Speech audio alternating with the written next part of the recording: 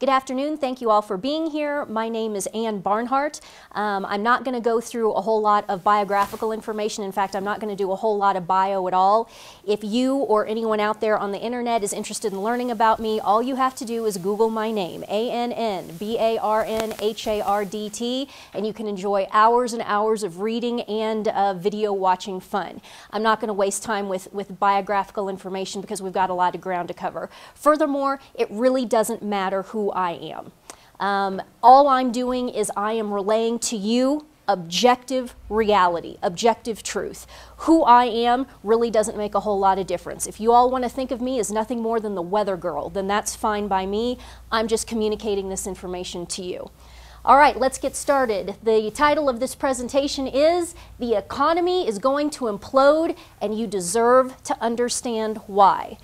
Um, most people out there have absolutely no idea of what is going on in the financial markets, in the economy, and they especially do not understand the scope of what's going on in the financial sector and in the economy and the fact that we have now passed critical mass and it can no longer be saved. What I want to get out in front of people is the very basic nitty gritty in layman's terms of what's going on so that the average American out there can understand the true gravity of the situation. And I'm also going to impart a few suggestions for what can be done to fix the situation situation after the collapse, after the war, and in the rebuilding phase. Because if you're watching this, chances are you are going to be in that class of people who is going to be morally tasked with rebuilding this nation and this civilization. There's some things you need to know. You need to understand how this system is broken, and you also need to understand what you're going to need to do to fix it and get it back on the right track when you come out the other side of this. Um, for those of you out there on the internet watching, a lot of you will be saying, well, you didn't go into enough detail about this. You weren't technical enough about that. Guys, you got to understand what my objective here is. My objective here is not to dive into the absolute minutia of the MF global collapse. These people don't even understand what repos are. These people don't understand what CDS is. They don't understand any of these things. I just need to get a very basic primer in front of them so that they can understand these things. Um, also, do not email me and say, um, why didn't you talk about this? Why didn't you talk about that? Why didn't you talk about the other? In order to get just the very basics covered, we're looking at two, two and a half hours, I'm estimating here, okay? Most people in this country have about a 30 second attention span, so you can see the wall that I'm up against here. Um, if you think that there's a topic that I didn't cover that needs to be covered, God bless you. Make your own YouTube. Put it up on the internet so that everybody can see it. But I'm just gonna cover what I think is the very basics in this presentation, and hopefully we'll get it under 230. Question How much of your wealth is allocated as zeros and ones on computer servers? How much is physical in your possession and defensible? For most people, the bulk of their wealth is completely indefensible. The bulk of their wealth they have really no true custody of, and it could be confiscated, instantaneously. What I've been saying to people for months and months and months and going on years now is, is that if you can't stand in front of it with an assault rifle and physically defend it, it's not really yours. Anything sitting in any sort of an account doesn't actually exist. It is, doesn't exist physically. It is zeros and ones on a computer server. And you have to trust the people behind the computer servers, A, not to confiscate it, and B, to allow you to have access to it, and that it is going to have zero counterparty risk when you get it back. These are all questions that are monumentally huge. MF Global, 1.6 billion in segregated, sacrosanct customer funds, confiscated, stolen, like that by Jon Corzine and his cronies at MF Global. Um, PFG Best, Another Ponzi scheme, 225 million in customer funds, never actually existed. The whole thing was a Ponzi scheme. Me personally, I can testify to this. This is being recorded on November 2nd, 2012. A week ago today, I have declared a federal tax strike. A week ago today, the IRS levied my personal bank account. Bye-bye money, gone. It will, and I'll never see it again. Okay, so if this money is sitting in these accounts and it's just zeros and ones on a computer server, you have to understand the massive, massive risk. And, and people in this culture, we're so used to the rule of law, we're so used to the sacrosanct nature of our accounts that we cannot even fathom the possibility that our money could just be confiscated and taken away. You have to understand the risk that you are, that you are standing right now, every one of you. It doesn't matter how honest your brokers, wealth managers, or local bankers are. The problem is systemic and it will touch every person on earth. I hear this all the time. I have people call me all the time and say, Well, I'm all right because my broker is a great guy. I'm sure your broker is a great guy. I'm sure your banker is a great guy and wouldn't dream of stealing your money out of your account. That's not the counterparty. That's not the danger. That's not who we're talking about. We are talking about what is called the federal government. We are talking about the entire global financial system. It doesn't matter how honest your brokers are. This is why I shut down my commodity brokerage because I knew after MF Global that I could do nothing nothing to defend my clients and their assets that were sitting in my commodity brokerage. It doesn't matter how awesome and how honest I may be. There was nothing I could do to protect my clients. If my FCM went under the same way that MF Global went under, and my FCM did eventually go under about seven months later, not in the same fashion, but it went under. I could not protect my clients. I didn't have the wealth myself to backstop my clients' accounts. If their money got corzined, so to speak, the way the MF Global customers got corzined, I could not have done anything to help them. And I could not live with that. You can steal all of my money. You can take everything I own. You can put me in the gutter to where I'm living in a refrigerator box under the bridge that's fine. But you're not going to take my client's money. So I had to shut my firm down and I had to get them out. That was the only moral option for me.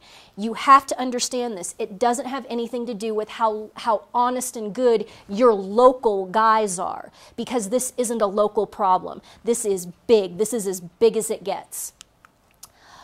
What is money? First of all, um, as you're watching and going through, um, we have the workbook available. You should have been able to download the workbook off of the link underneath the YouTube clip in the information section. So you've got your workbook hopefully at home if you want. The fellas here in the room, they all have their workbook. The way it works is, is on the slide, this turquoise number here is the page that I'm on in the workbook. The first three pages of the workbook was just very simply uh, the going galt letter that I wrote in November of 2011 when I shut down my brokerage firm. That's just provided for you. That's the only biographical information I'll provide. You can see pretty much how I feel and what happened to me by reading that letter. Now we are into the workbook and we're on page five. The question is, what is money? Money is a fungible proxy for man's ability to reason, labor, create, and produce. People do not understand what money is. Money is, in a sense, it gets into into, in a sense, the spiritual and the metaphysical. Because, like I said, it is a fungible proxy for man's ability to rate, reason, labor, create, and produce. It is, in essence, your, your humanity turned into this fungible proxy that we use for exchange. Now, you might be sitting there thinking, what does fungible proxy mean? Well, first of all, proxy.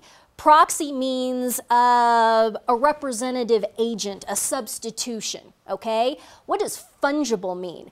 Fungible means um, that it is completely interchangeable. I could get into my wallet and I could pull out a $100 bill and I could exchange my $100 bill with the $100 bill of the gentleman that's sitting right here in front of me. Those two $100 bills, even though they're physically different pieces of paper, they are for all intents and purposes, exactly the same thing. They represent the same thing. That is fungibility. Why do we have the need for a fungible currency and this is universal throughout human history why must there be this this fungible proxy because for example my business okay i was in the cattle business my skill set was teaching cattlemen how to trade cash cattle that's my skill set what, what use does that skill set have to this gentleman who's sitting right here in front of me who has nothing to do with the cattle industry? I can't trade or barter with him in terms of my personal skill set. Now, let's, let's say, for example, that the gentleman sitting in front of me, and I'm just making this up, let's say that he is in the, uh, let's say he's in the steel manufacturing business.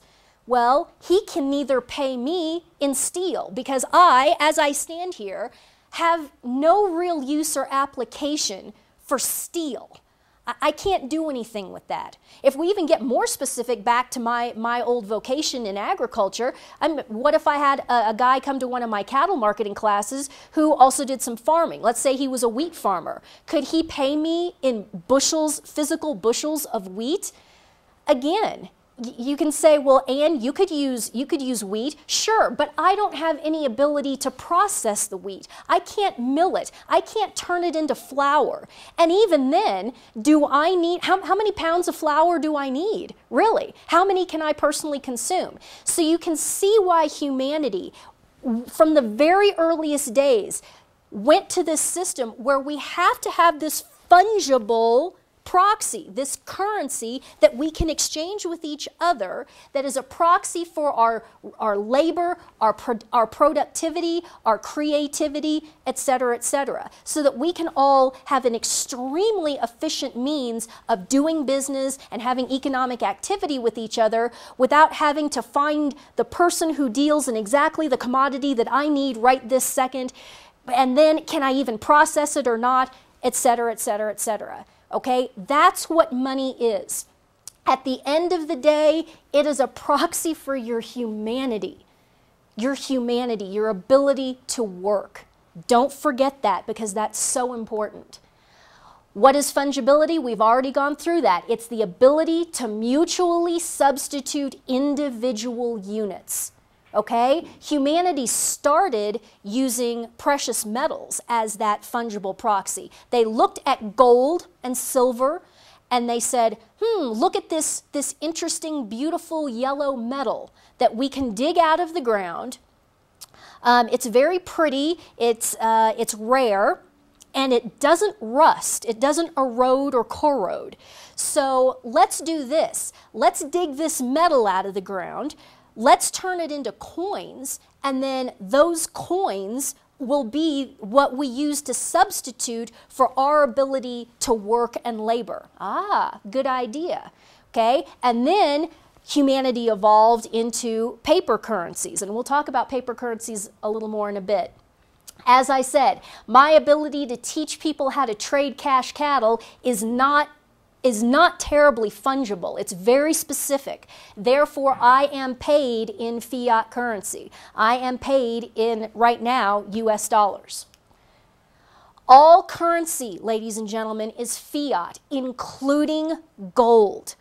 Gold is fiat currency. All currency is fiat currency because all currency is a fungible proxy for your ability as a human to labor and produce. What does the word fiat mean in Latin? It means let it be. And that's exactly what they did millennia ago with, with gold. They looked at it and they said, let that be the substitution for my ability to produce. And everybody agreed to this.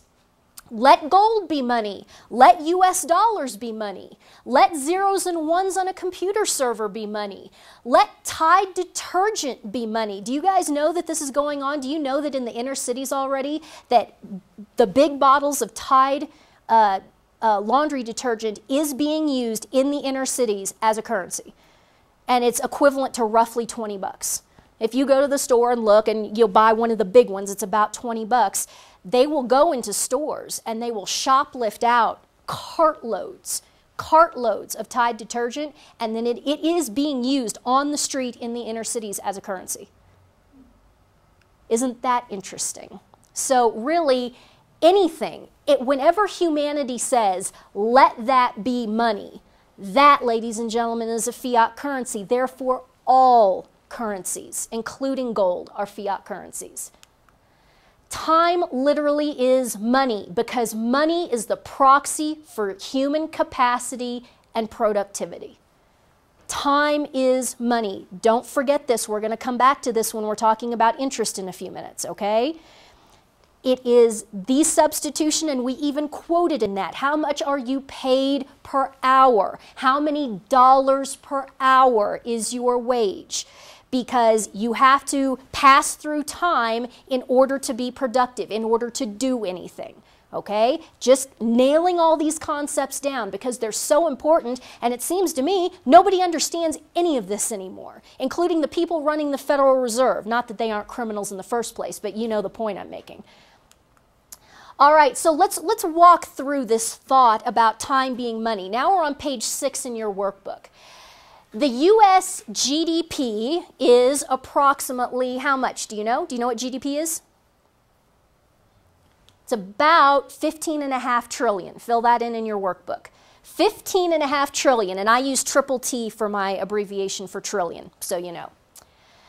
Average wage, let's call the average wage in the, in the United States, not in China, in the United States, let's call that $20 an hour, okay? 20 bucks an hour. The average work year, standard work year is 2,000 hours, okay? Now let's do some math off of this. 15 and a half trillion, lots of zeros there, kids. Make sure you get all those zeros in there.